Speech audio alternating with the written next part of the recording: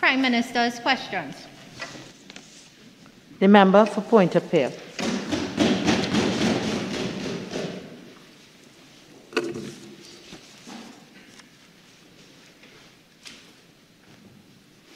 Thank you, Madam Speaker. To the Honorable Prime Minister, could the Prime Minister provide this House with a status update on the San Fernando Waterfront Redevelopment Project, which was launched in June 2020 and was supposed to generate employment as well as economic activity for surrounding communities? Prime Minister. Madam Speaker, the San Fernando Waterfront Project, which, as it is said, was launched in June 2020, which is approximately nine months ago, is underway. There are a number of components in that project, and they're all underway, except one or two which are having some issues with the EMA. And on the basis of, as a result of that, we have some further discussions on compliance issues with the EMA. And um, my last information is that that work is being advanced. So if the member will give the appropriate notice, uh, the relevant minister would be able to give him the, up, the, the actual detail that he's looking for. But it requires appropriate notice. Appear? Thank you, Madam Speaker. The Honourable Prime Minister, when the project was launched by your government in June 2020, um, the issues with EMA should have been taken care of. I'm not hearing you very clearly. Sorry, Prime Minister. Follow-up question. When the project was launched, I think by the member of San Fernando West in June 2020, we, the country was assuming all EMA issues would have been cleared up. Even the PTSC bus relocation, the terminus, has not been done to date, and there no activity has started. Could you clarify when activity will start? It would, Madam Speaker, my answer remains the same, that there are a number of components to the project, and if the appropriate notice would be given, an appropriate answer could be given to satisfy the member. Member for Pointe-à-Pierre. Thank you, Madam Speaker. Question number two to the Prime Minister. Given that the NiQuan GTL plant is now operational and there was an agreement with the state to purchase all the offtake from the plant, could the Honorable Prime Minister state if payments for these products would be made in US dollars or TT dollars? Prime Minister.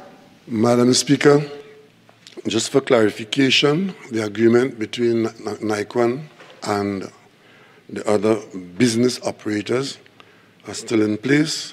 NiQuan's ar arrangement is with Petrotrin um, Heritage, and NiQuan sells zero sulfur diesel, which fetches a premium of 25% above the market price, and it will be sold in US dollars. So it's a US dollar transaction. Member for Pointe-à-Pierre. Thank you, Madam Speaker. To the Honourable Prime Minister, given that we have a shortage of foreign exchange in the country, would it, are you saying then that the products purchased from NiQuan will be paid in US dollars to NiQuan GTL Limited? That's exactly what I'm saying. But the arrangement is such, Madam Speaker, that um, that's only a part of the arrangement. The arrangement between NiQuan and the seller is that there's an offtake agreement where NiQuan supplies its product to Heritage, to Aparia. That product is sold on the international market for US dollars, and then the payments are separated when they come back into the country. It's a US dollar transaction. For Pointe-à-Pierre. Thank you, Madam Speaker. To the Prime Minister, follow up. Prime Minister, when do you feel that the low sulfur diesel that is produced by NiQuan would be um, available for local consumption at local market? Prime Minister. As soon as the supply is available, it should be available to the local market because it is, it is meant to be to satisfy the local and the foreign market. The first products have only just come off the plant, so if the member would be a little patient, we expect that uh, we would either use the product locally or sell it or have a combination of both. But it's an addition to our diversification. Member for Pointe-à-Pierre. Thank you, Madam Speaker. Um, a follow-up question to the Prime Minister. Seeing that we don't have Petrotrin anymore and was, the agreement was, was with Petrotrin, what state company would be responsible for purchasing the products from NiQuan GTL Limited? Madam Speaker, the same arrangement that existed before with the, um, the principal company of Petrotrin, the Petrotrin successor companies will have that arrangement in place. So whether it's Heritage or Petroleum or, or Paria, it, Paria is the company that's dealing with fuel. It may be Paria, it may be Heritage, depending if you're blending. But Heritage imports finished diesel, and NiQuan's diesel is not for consumption of the plant. It is, it's for blending and improving other diesel. So that arrangement will remain in place, and the market is there both for export and import, depending on what our needs are. Member for Naparima. Thank you, Madam Speaker. To Prime Minister, given Guyana's rise as a regional energy hub and the significant trade and other opportunities that will result, could the Prime Minister provide a House with an update on the proposed establishment of a High Commission in Georgetown? Minister. Madam Speaker, there is no proposed establishment of any High Commission in Georgetown. The High Commission of Trinidad and Tobago in Georgetown has already been established and has been operational since 2019. Madam Speaker, there's, there's a staff in the commission, it has been functioning, and I don't know why a member of parliament would continue to mislead the population in this way. Member for Naparima. Um, in the light of what the Prime Minister said, could, could the Prime Minister indicate the staffing, or if not, the High Commissioner designate or High Commissioner to Guyana? Which, which question it is that you want To answered? indicate who is the, the High Commissioner to uh, Georgetown, given that a, a mission has been established. has been established. asked. Prime Minister. You know, that noise, Madam Speaker, I'm not sure I heard the question. Could you repeat the question, please? Could the Prime Minister indicate who is the High Commissioner from Trinidad and Tobago to Guyana? Com- The, the commission is functioning without a high commissioner. There's the chargé d'affaires and full and staff in place. But the, the high commission is functioning. There's a high commissioner to be appointed, and that appointment would be made at the appropriate time. Member for Caroni Central. Thank you, Madam Speaker. To the Prime Minister, given the recent withdrawal of some US 900 million from the Heritage and Stabilization Fund in fiscal year 2020 and a further US 300 million for fiscal year 2021 thus far, could the Prime Minister inform the House of the productive application of these sums aimed at diversifying the national economy inclusive of structural reform? Prime Minister. Madam Speaker, funds from the Heritage and Stabilization Fund are deposited into the consolidated fund and are utilized to finance all the fiscal and economic programs of the government as authorized by the Parliament via approval in the annual budget, and that includes the salary of members of Parliament. There's therefore no specific earmarking of funds for the specific purpose. It's, the it's, it's budget support which goes into the consolidated funds. And you don't identify the individual dollar bill that came from the HSF, but you identify the general expenditure. So it, it funds the development program, it funds every aspect of government's operations during the year. Member for Caroni Central. Speaker, can the Prime Minister indicate whether further funds will be withdrawn from the Heritage and Stabilization Fund to pay public servants? I'm not going to allow that as a supplemental question based on what was asked and answered. Member for Oropouche East. Thank you very much, Madam Speaker. Is the Prime Minister aware that in the report on the first withdrawal to the amount of 400 million United States dollars, it states specifically support to the Ministry of Works and Transport, the Housing Development Corporation, and the UDeCOTT in exact figures from that drawdown? Prime Minister. Well, Madam Speaker, I don't know what is the point of that. The government's annual budget for service of the country contains a development program. And some of that money will go to the development program. There's a fungibility involved. If I just told you it funds the annual budget, and in the budget, the development program has housing, it has bridges, it has roads, that is what it's doing. The, the fund is not withdrawn specifically to be applied to a particular project. It goes into the consolidated fund and therefore supports the entire uplift of the state. Member for Naparima. The Prime Minister gave this House the assurance that withdrawals from the HSF will be used primarily for investments and not recurrent expenditure. Prime Minister. Madam Speaker, everything the government does in this country is an investment, whether it's a social program or health or education.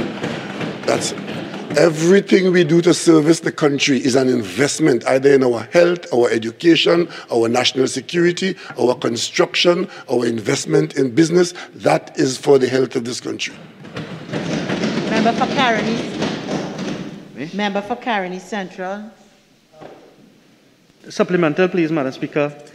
Uh, to the Prime Minister, given uh, the report of the roadmap to recovery, that report, there were certain strategies identified. Can, you, can the Prime Minister indicate when those strategies are to take effect in this country? I will not allow that as a supplemental question. Member for Barataria San Juan. Thank you very much, Madam Speaker. Uh, can the Prime Minister indicate whether or not he's aware that based on the two reports laid for the withdrawals from the HSF, those monies were not in fact going, were not in fact expended on the development program, but on recurrent expenditure to pay contractors right before a general election? I am not aware of any such thing, Madam Speaker. What I am aware of is what I'll repeat again that the consolidated fund covers all aspects of government's expenditure in the national budget. And part of the national budget that the member for Barataria approved is a development program which involves the payment to contractors. So I don't know what this is about, except to misinform, misdirect, and mislead the population.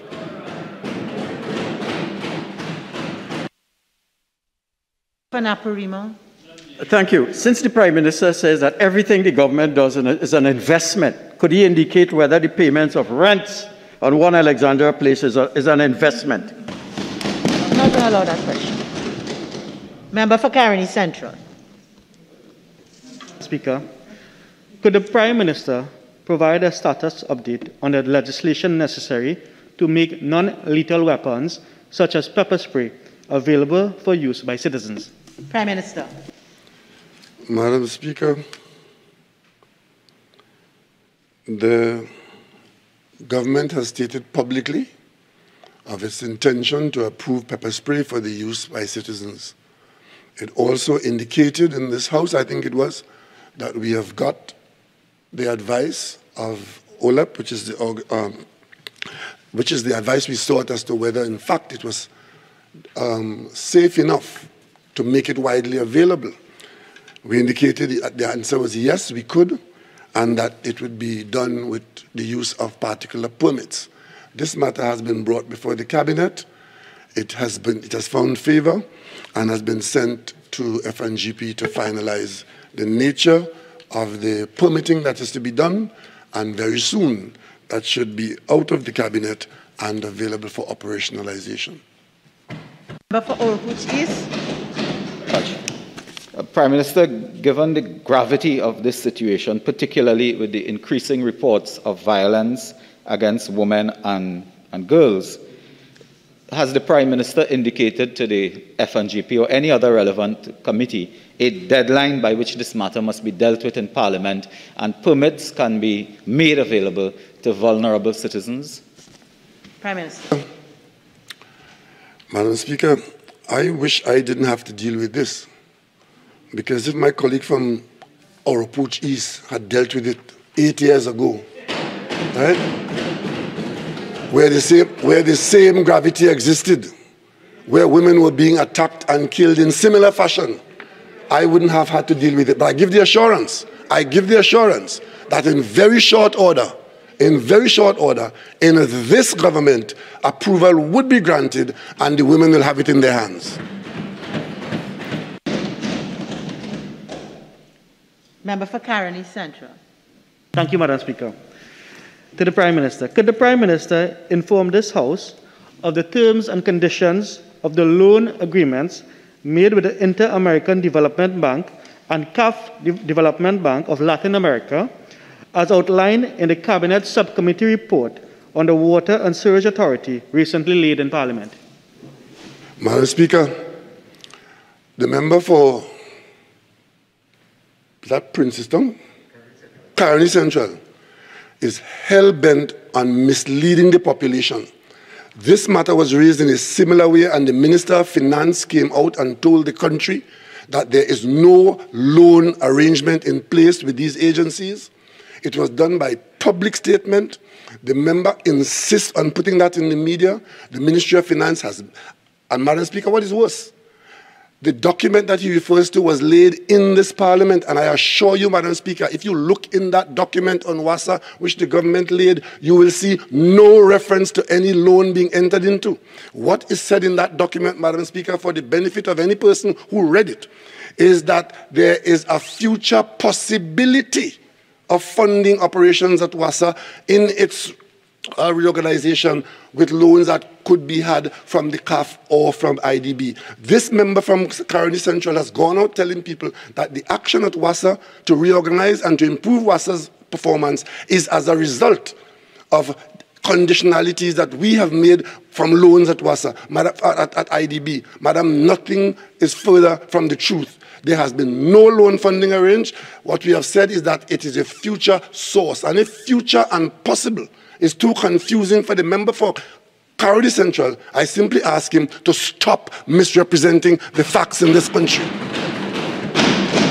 Member for Caroni Central. Supplemental, please, Madam Speaker. Uh, Madam Speaker, the, from that report on page 25, uh, these two entities were identified as stakeholders can the Prime Minister indi indicate how did they become stakeholders to a meeting to discuss WASA? Prime Minister. Madam Speaker, I, I, I have nothing further to say on this question to the member, misleading people. All that I've said is the fact. There's nothing else to it. Nothing else to what I have said. It's a possible source of funding, future possible funding. So there is no loan in place with no conditionality. And therefore, it is quite wrong to be saying that the government's attempt to deal with the WASA problem is as a result of any conditionality of any loan we've entered into. Madam Speaker, the member is confusing the public, and I wish he would stop. Member for Caroni Central. Madam Speaker, I wish to indicate the question was not answered. Can I, would you give me permission to well, restate the question? Member, the question was asked and the question was answered. You are entitled to ask another question if you wish. Madam Speaker, supplemental, please. Um, I hope I don't get the same answer. Can the Prime Minister indicate whether any arrangement with these possible for future arrangement will be made by public procurement or the government intend to rely? One minute. Just so that we'll be guided as we go forward. Sucking of teeth is not permitted inside of here. Okay? Anyone who feels frustrated, anyone who's intolerant, is free to leave the chamber, compose themselves, and return. Member for Caroni Central. Thank you, Madam Speaker. Can the Prime Minister indicate any possible loans with these two entities whether it will be done by public procurement or whether it will be done using Clause 7 of the recently passed public procurement legislation. I will allow that as a supplemental question having regard to what was asked and what has been answered. Member for Couva South. Thank you. Prime Minister, could you inform this House if the IDB and the CAF Bank recommended to the Cabinet to conduct a manpower audit into the operations of WASA to determine if workers should be terminated. Prime Minister. My colleague from Couva South is another offender. Right? that colleague of ours has taken ownership of a statement which is completely untrue that some international agency, and he named, I think it was the World Bank, now he's talking about the IDB and the CAF, as giving the government of Tobago instructions about workers and reorganization. Madam Speaker, the government has said publicly that the member statement is not true, it's mischief, and we are in no such arrangement, and we are following no conditionality made to us by any international agency. And Madam Speaker, as fast as we repeat it, they come out and, Madam Speaker, Madam Speaker I can say no more. Madam Speaker, Standing Order 48.6 the Prime Minister is entitled to his opinion and his views, but he ought not to be accusing members of the opposition as making mischief. That is improper. Thank you. Member for Couva South. Prime Minister, could you inform the House then if the Water and Sewerage Authority has commenced a manpower audit into WASA to determine if workers will be terminated? Case I will not allow that as a supplemental question based on the principal question asked and answered and the following questions. Member for Fyzabad. Thank you, Madam Speaker. Could the Prime Minister provide the House with an update on the status of negotiations between the government and providers outside the COVAX and African Medical Supplies Platform facilities for the procurement of COVID 19 vaccines? Prime Minister. Thank you, Madam Speaker. Um, Madam Speaker, in October 2020, the government of Trinidad and Tobago, through the Ministry of Health, started bilateral discussions with producers of vaccines in China, Sinopharm, and later on, Madam Speaker, the Ministry of Foreign Affairs, alongside the Ministry of Health, had communication and contact with producers of vaccines in India who are producing for Western Europe and the Americas, including the Caribbean. We are also in bilateral discussions with the major producers of approved vaccines, Pfizer, Moderna, Johnson & Johnson, and AstraZeneca. These discussions are ongoing, and depending on how far those discussions have progressed, there are confidentiality agreements in place. We, we will update the country once we have firm commitments from any of these discussions. Madam Speaker, as you will know, there are few producers of vaccines in the world, and their supply has largely been contracted out and bought out by large contracts in the major wealthy countries. And we are in an arrangement to get vaccines in the COVAX and even the, the, volumes we expected in the COVAX are not being satisfied because of supplies from the approved manufacturers being cornered by the large countries. However, Madam Speaker, we anticipate that in the very near future we'll get our first shipment of vaccines in COVAX, and there'll be a continuous flow after that. And the marketplace will improve as more and more, vaccine, uh, more vaccines become available. And we expect that by mid-year, this question of availability of vaccine will recede. Member for Fyzabad. Thank you, Madam Speaker. Prime Minister, thank you for that update.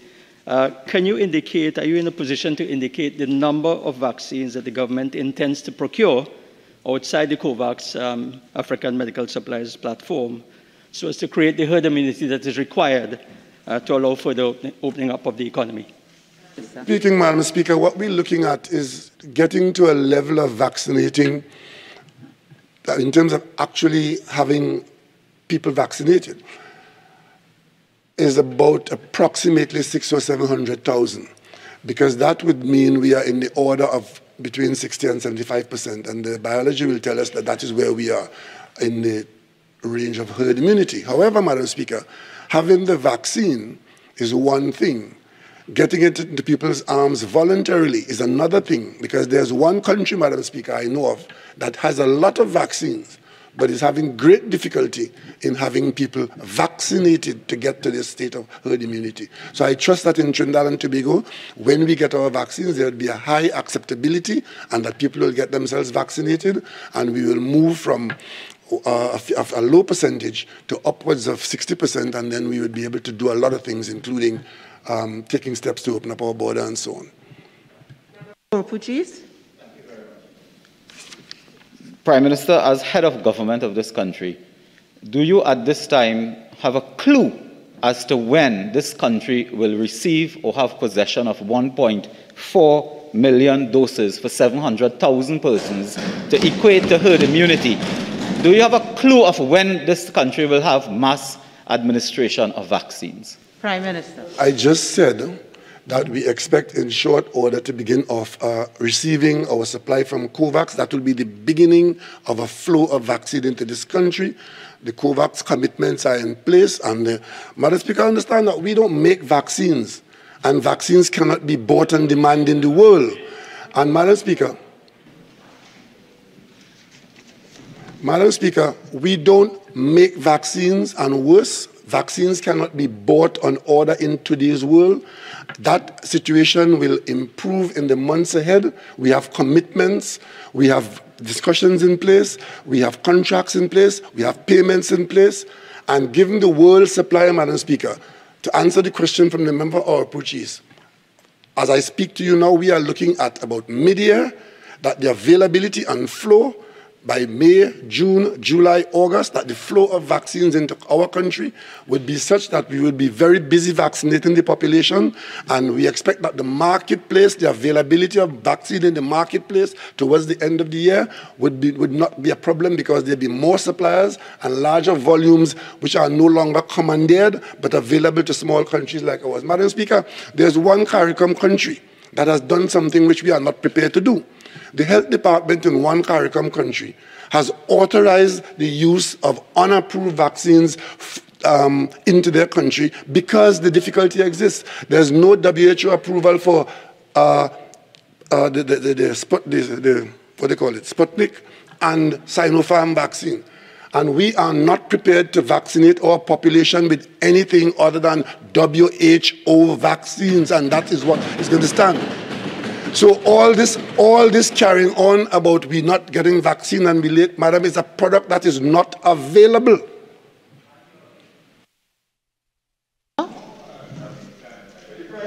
Tell me, as a 72-year-old with comorbidities, when will I be vaccinated? Prime Minister, I'm not going to allow that question. Member for, member for Oropouche East. Uh, could I ask the Prime Minister if the Prime Minister has a specific and precise response to a question? Is there any update on the request made by this government for the provision of World Health Organization approved vaccines from the Republic of India? Answer is no. There's no update. Okay, and member for Caroni East. Thank you. Prime Minister, are you aware that the Moderna vaccine is not WHO certified at this moment? But, Madam Speaker, I am aware, but the countries that produce it provide approval to be used within their uh, borders, and therefore that's why it is not available to people like us, because it's only approved to be used within the borders of certain countries and the, the countries that produce the vaccine. We can't buy it off the shelf, we can't buy it from the supplier. Business, government business. Well,